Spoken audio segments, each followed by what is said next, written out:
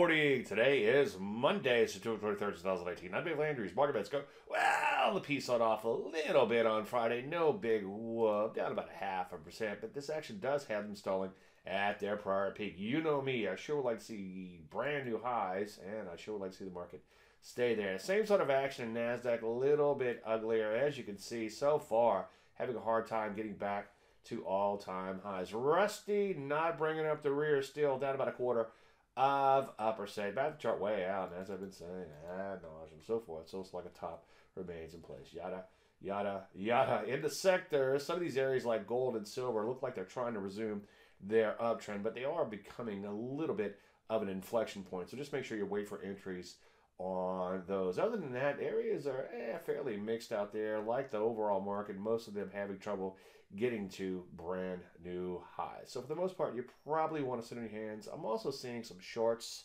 setting up, so you might want to fire off a short or two.